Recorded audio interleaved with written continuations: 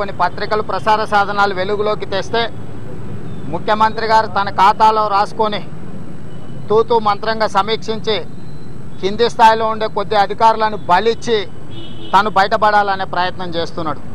దానికి సంబంధించిన వివరాలు తెలుగుదేశం పార్టీ ఒకటొకటిగా బయటపెట్టడంతో ముఖ్యమంత్రి గారు ఈనాడు పదిహేను రోజులు దాదాపుగా పూర్తిగా వస్తుంది కుంభకోణం జరిగి ఎక్కడ కూడా ముఖ్యమంత్రి గారు బయటకు వస్తలేరు. ముఖ్యమంత్రి గారు పోయి పుట్టలో దాక్కున్నాడు ఈరోజు. ఎందుకంటే తన సహచరులు తన అనుచరులు తన పార్టీ నాయకులు తన కార్యాలయ సిబ్బంది ఉప ముఖ్యమంత్రి రెవెన్యూ మంత్రి అయిన మహమూద్ అలీ గారి బినామీలు వారి కార్యాలయ సిబ్బంది వారి పార్టీ పార్లమెంటు సభ్యులు వీళ్ళందరూ కూడా ఈ కుంభకోణంలో సూత్రధారులు పాత్రధారులు కుట్రదారులు వీళ్ళందరిని బయట పెట్టాల్సి వస్తుందని వీళ్ళందరి భాగోతాన్ని ప్రజలకు చెప్పాల్సి వస్తుందని ముఖ్యమంత్రి గారు ఈరోజు ముఖం చాటేస్తున్నాడు తెలంగాణ ప్రజల ముందుకు రావడానికి. కాబట్టి ఈనాడు గవర్నర్ గారికి స్పష్టంగా మేము చీఫ్ సెక్రటరీ గారిని కలవడానికి పోతే సమయం ఇచ్చి కూడా వారు కనిపించకుండా పోయినరు. రెండవది ఈ భూములు ఎక్కడైనా పేదోడు ఒక గుడిసేసుకుంటే వందల మంది పోలీసు బలగాలతోని మున్సిపల్ శాఖ సిబ్బంది రెవెన్యూ శాఖ సిబ్బంది అక్కడికి వెళ్ళి హడావిడి చేసి వాళ్ళ మీద పోలీసుల చేత దాడులు చేయించి ఆ జగాలను ప్రభుత్వ భూమి అని బోర్డులు పెడుతున్నారు. ఇవాళ ఈ రాష్ట్ర ప్రభుత్వం ఈ కుంభకోణం వెలికొచ్చిన తర్వాత దాదాపుగా పదిహేను రోజులు పూర్తయిన ఇంతవరకు ప్రభుత్వ అధికారులు కానీ సంబంధిత శాఖ మంత్రులు కానీ లేకపోతే హైదరాబాదులో ఉండే ప్రభుత్వంలో ఉండే కీలకమైన మంత్రులు కానీ ఎవ్వరు కూడా భూమి పరిశీలనకు వెళ్ళలేదు. ఇవాళ భూములను పరిశీలించడానికి వెళ్ళలే ప్రభుత్వ భూములకు కంచేయలే ఇది ప్రభుత్వ భూమి అని కనీసం బోర్డు కూడా పెట్టే ప్రయత్నం చేస్తలేరు. ఇవాళ ఏ గోల్డ్ స్టోన్ ప్రసాద్ మీద ఆరోపణలు వస్తున్నాయని ప్రభుత్వం చెప్తుందో ఇంతవరకు ప్రభుత్వం గోల్డ్ స్టోన్ ప్రసాద్ మీద ఫిర్యాదే చేయలేదు.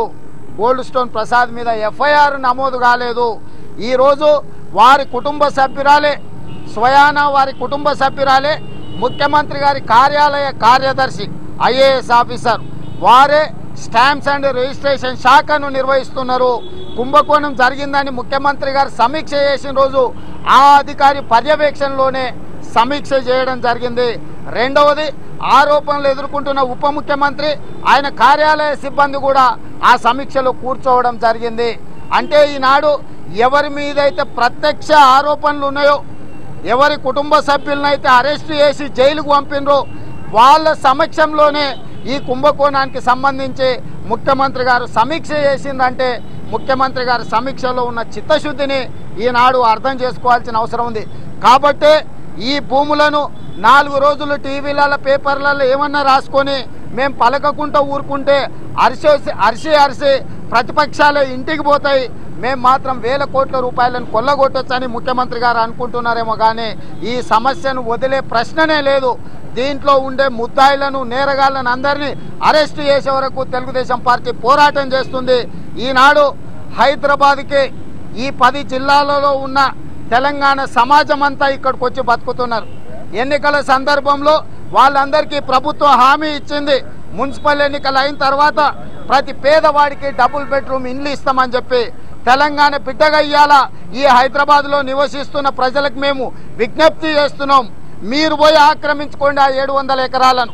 ఎవడో గోల్డ్ స్టోన్ ప్రసాద్ ఎక్కడి నుంచో వచ్చి ఇక్కడ మన భూములను ఆక్రమించుకుంటుంటే ప్రభుత్వం నిమ్మకు నీరెత్తినట్టు ఉందంటే ప్రభుత్వం గోల్డ్ తెలంగాణను గోల్డ్ స్టోన్ ప్రసాద్కు దోషిపెట్టడానికి ప్రయత్నం చేస్తుంది. కాబట్టి ఇవాళ ఈ గ్రేటర్ హైదరాబాద్ పరిధిలో మున్సిపల్ ఎన్నికల బస్తీలలో ఎవరికైతే ప్రభుత్వం హామీ ఇచ్చిందో డబుల్ బెడ్రూమ్ ఇన్లో వాళ్ళందరినీ కూడా మియాపూర్లో ఉండే భూములను మీరు ఆక్రమించుకోండి. ఇవాళ ఏడు వందల ఎకరాలలో నాలుగు లక్షల మంది పేదలకు డబుల్ బెడ్రూమ్ ఇల్లు కట్టియొచ్చు. నాలుగు లక్షల మంది పేదలకు హైదరాబాద్లో నివసిస్తున్న బస్తీలల్లో ఈరోజు మగ్గిపోతున్న పేదలకు అందులో డబుల్ బెడ్రూమ్ ఇల్లు కట్టించాలా?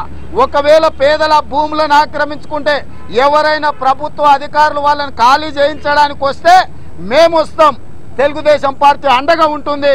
పేదలందరికీ కూడా హైదరాబాదులో డబుల్ బెడ్రూమ్ ఇళ్ళకు ప్రభుత్వానికి అప్లికేషన్లు పెట్టుకున్న ప్రతి ఒక్కరికి విజ్ఞప్తి చేస్తున్నాం. మీరు ఆక్రమించుకోండి ఆ ఏడు వందల ఎకరాలను. ఎవరు అడ్డం వస్తారో చూస్తాం.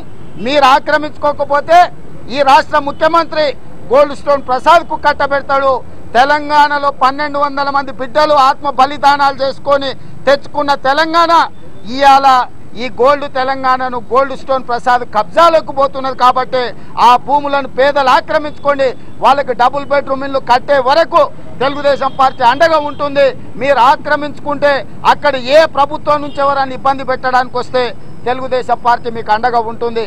కాబట్టి ఇవాళ ఈ కేసు పలు రాష్ట్రాలలో మూలాలు ఉన్నాయి. ట్రినిటీ ఇన్ఫ్రా ఢిల్లీలో రిజిస్ట్రేషన్ అయింది. ఇందులో కొన్ని డాక్యుమెంట్లు బ్యాంకులో పెట్టినని వస్తున్నాయి. పలు రాష్ట్రాలలో నేరగాళ్ళకి సంబంధాలు ఉన్నాయి.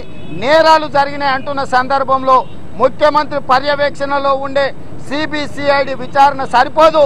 తెలంగాణ ప్రజలకు సిబిసిఐడి మీద విశ్వాసం లేదు. గతంలో సీఎం రిలీఫ్ ఫండ్ కేసిస్తే మురిగిపోయింది. ఇందిరమ్మ ఇండ్ల కేసిస్తే మురిగిపోయింది. అదే విధంగా నయీం కేసిస్తే మురిగిపోయింది. బోధన్ కుంభకోణం ఇస్తే మురిగిపోయింది. ఇవాళ ఏది సిబిసిఐడికి ఇచ్చినా దాన్ని మురుగబెట్టినరు వాళ్ళకు కావాల్సిన వాళ్ళని కాపాడుకునే ప్రయత్నం చేస్తుంది కాబట్టి సిబిఐ విచారణకు ఆదేశించాలి కేంద్ర ప్రభుత్వానికి కూడా విజ్ఞప్తి చేస్తున్నాం. ఇందులో కాందిశీకుల భూములు ఉన్నాయి.